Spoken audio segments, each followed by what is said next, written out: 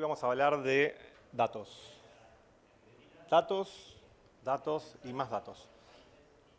A nivel mundial vienen creciendo de manera exponencial en la última década el volumen en que se almacenan los datos y se replican.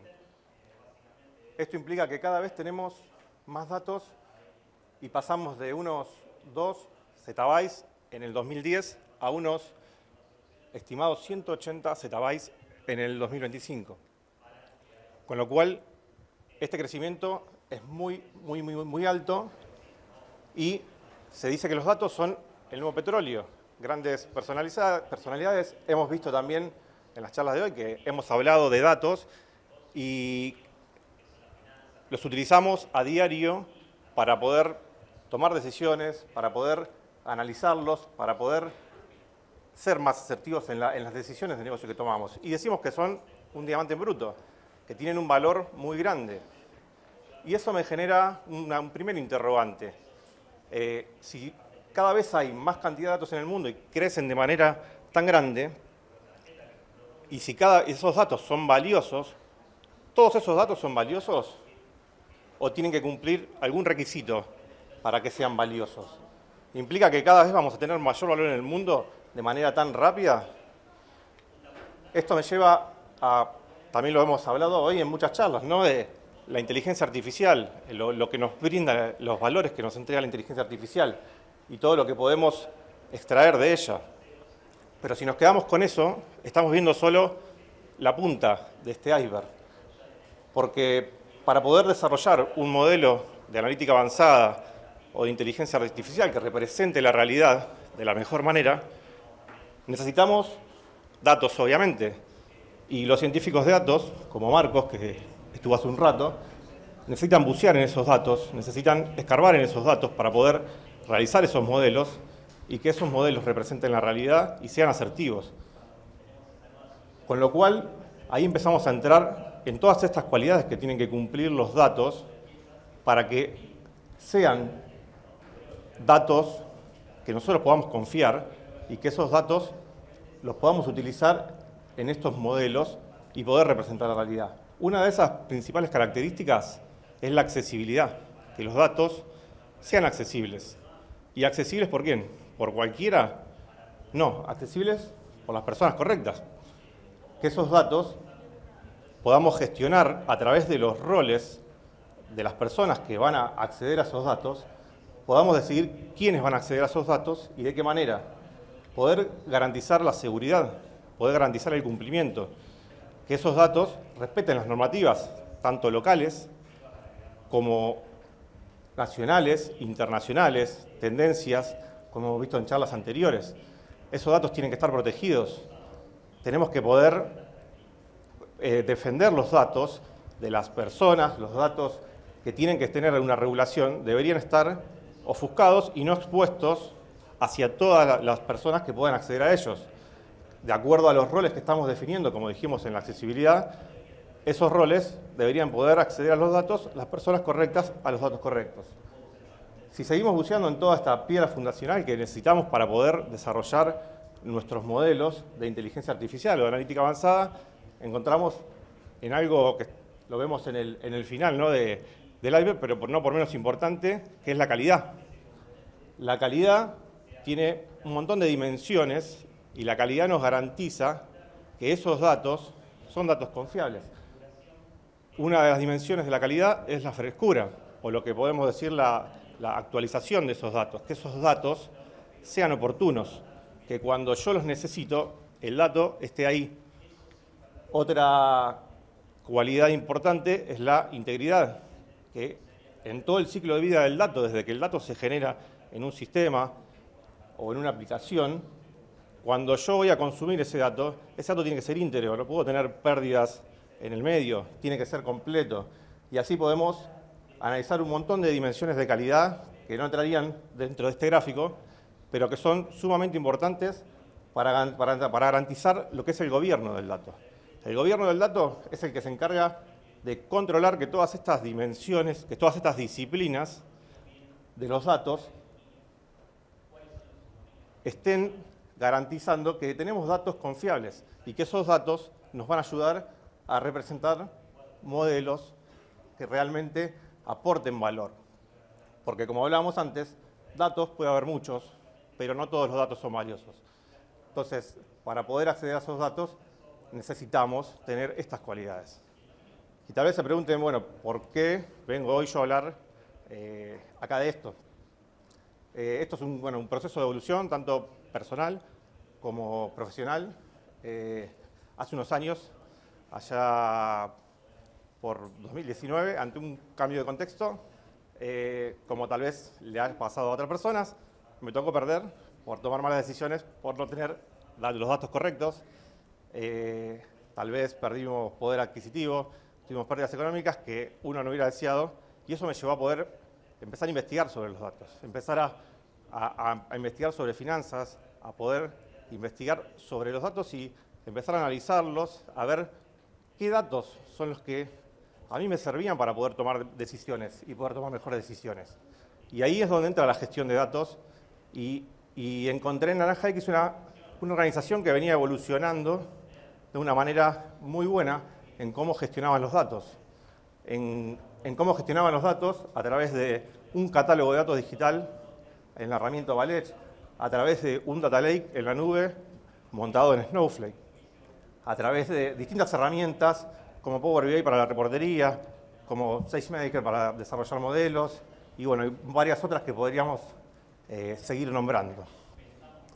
Pero antes de meternos eh, un poco en, cómo gestionamos los datos en Naranja X, me gustaría contarles eh, una historia. Es la historia de, un colaborador, de un analista de negocios, la historia de Patricio. Patricio es un, colaborador, un analista de negocios de una empresa X, tal vez no de color naranja, de otro color, que necesita datos, obviamente, para poder realizar su, su trabajo diario. En este caso, es un colaborador de una, de una fintech que necesita datos, por ejemplo, de débitos automáticos y de pago de servicios para poder ofrecer una, mejor entrega de valor a sus clientes. Y necesita esos datos, entonces, bueno, ¿cómo los, cómo los obtiene? Consulta en el canal general de la empresa, que podría ser en Slack o en cualquier otra plataforma. Se queda esperando, recibe alguna respuesta y lo redireccionan y le dicen, habla con tal persona que esta persona conoce esos datos y te puede ayudar. Entonces le manda un mensaje privado, habla con esa persona y esa persona le dice, sí, yo los conozco, pero los datos que yo tengo a mí me llegan al final del mes, cuando cierran las, tarjetas, por ejemplo, y para tener esos datos necesitas ir con este equipo, que es el equipo que ya trabaja con datos, y que te va a poder brindar esos datos eh, de manera actualizada. Con lo cual, ahí ya no le gustó tanto a Patricio eh, esa respuesta. Con lo cual, bueno, va hacia el equipo que gestionaba los datos, consigue los nombres de algunas tablas que le pueden servir para su trabajo diario y en ese momento se da cuenta que no tiene acceso, que no puede acceder a esos datos. O sea, sabe cuáles son los datos que tiene, a los que tiene que ir, pero no puede acceder. Con lo cual, otra vez, ayuda, ¿no? necesita acceder a esos datos. Cuando logra acceder a esos datos, obviamente, después de seguir esperando un tiempo, encuentra en los datos un montón de atributos distintos, un montón de columnas, y se pregunta, bueno, pero ¿qué significan estos datos? ¿Dónde está el, dato que yo estoy buscando dentro de esta cantidad enorme de columnas que tienen estas tablas? Con lo cual, otra vez busca respuestas y así sigue buscando datos para poder realizar su análisis y poder entregar esa promoción a sus clientes. Y ahora terminó con encontrar los datos de los débitos automáticos y necesita ahora datos de las promociones. Y otra vez vuelve con ese círculo. ¿no? Eh, esto obviamente es una, una, historia ficticia.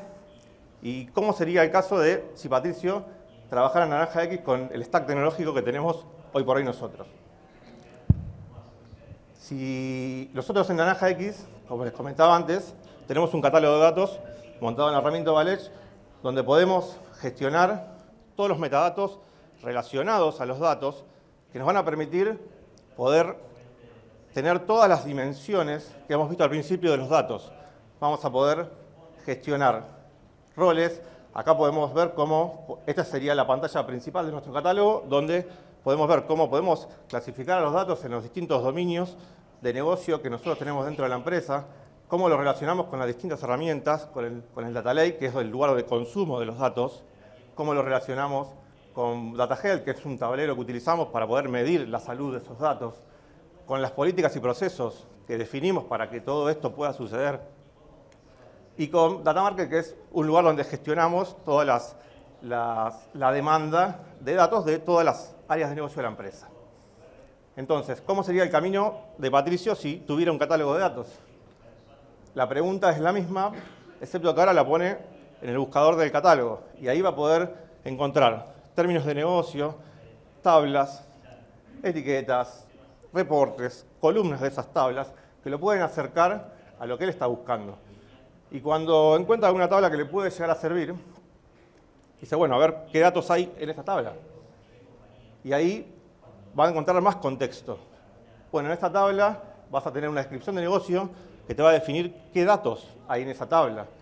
Vas a poder saber quiénes son las personas que administran esos datos. Y va a poder saber cómo hacer para acceder, porque a través de esta herramienta no va a acceder a los datos, sino que va a acceder a todo el conjunto de metadatos que le va a permitir, si por su rol se lo, permiten, acceder a esos datos. Ahí va, va a poder solicitar el acceso al Data Lake y acceder a los datos si es que por su rol le corresponden. También la herramienta nos permite tener un perfilamiento de los datos y poder tener un primer acercamiento sin tener acceso a los datos en sí, tener un perfilamiento que nos va a permitir ver algunos valores, valores claves, mínimos, máximos, valores distintos, nulos. Nos va a permitir también ver una definición de negocio de cada una de las columnas de esa tabla. Y de esa manera, acá por ejemplo, si entramos a una columna, podríamos ver también los valores, los top values que tenemos en esa tabla, podemos ver una descripción de qué hay en esa tabla y cómo, en esa columna, perdón, y cómo esa columna se relaciona con otros, otros activos de datos. También podemos ver otros metadatos, como decíamos recién. La frecuencia de actualización es una tabla que se actualiza en tiempo real, se actualiza de manera diaria, de manera mensual. Eh, tiene reglas de calidad que están corriendo sobre esa tabla. Eso a mí me va a garantizar que la, tabla va a estar actualizada o que la tabla va a tener una regla de integridad corriendo sobre la misma. Y si tienen dudas, bueno, como decíamos antes, ¿a quién le preguntan? Tienen al datastuber, por ejemplo, del dato, tienen al referente técnico, si es una pregunta más técnica o una pregunta más orientada a negocio. La herramienta también nos permite tener la parte colaborativa de poder realizar consultas dentro de la misma aplicación y cómo también relacionamos esos datos con otros datos. En este caso, bueno, podemos ver el diagrama de entidad-relación, de cómo se relacionan y a través de qué columnas esos datos con otras, con otras tablas, con otras tablas. Podemos ver la trazabilidad de esos datos, ver el linaje y dónde impactan esos, tablos, esos datos, esa tabla, en qué modelo los utilizamos, o si impactan en un reporte eh, y de esa, o en un modelo analítico. Y de esa manera podemos saber si los datos que estamos queriendo utilizar son los datos correctos.